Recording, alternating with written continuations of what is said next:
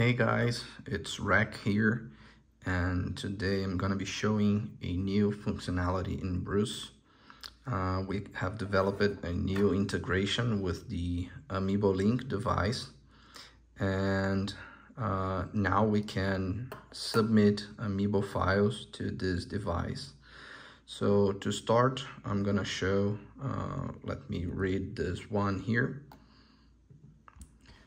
and you can see here in the NFC tools it says that it is um, it is a platform amiibo uh, Super Mario Bowser. Okay. So let's change the amiibo file and this little guy here. So for that I'm gonna come here to uh, RFID and go to Amiibo link. Uh, we need to search the file now, so Bruce RFID. I have a folder here, Amiibo, Super Mario. And I have some files here, so let me choose one like Diddy Kong. And those files are the same as the uh, Flipper ones. So those files come from a GitHub repository called, uh, if I recall it correctly, it is Flipper Amiibo database or something like that. So those are compatible with Flipper. And let's choose the Diddy. And now it says uh, turn on Amiibo link device. So let's click this little guy and it will blink the green light and we press OK in the Cardputer. Let's just wait and see if everything will work.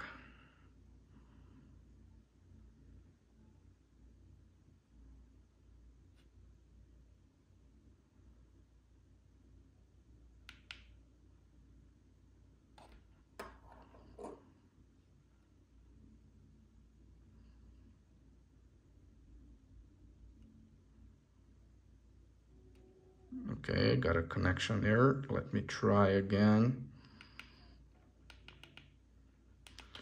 Let me scroll up to Amiibo link. Choose a file, Amiibo.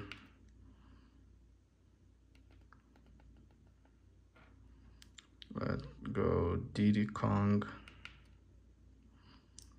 Turn on Amiibo link device so it is turned on.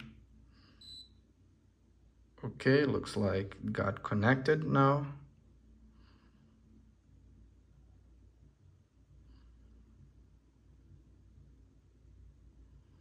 Let's see if it will work.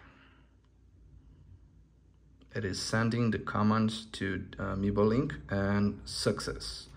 So let's come to the NFC tools again. And let's read. So now you can see that it says platform amiibo Super Mario Diddy Kong. So we have changed the amiibo file in this little guy using the Bruce firmware. So this is, as far as I know, this is the first firmware uh, for an ESP that interacts with this guy, the first in the world. So it's something that uh, only Bruce has right now. Okay. Thanks guys, and I'll come next with some more features. Bye.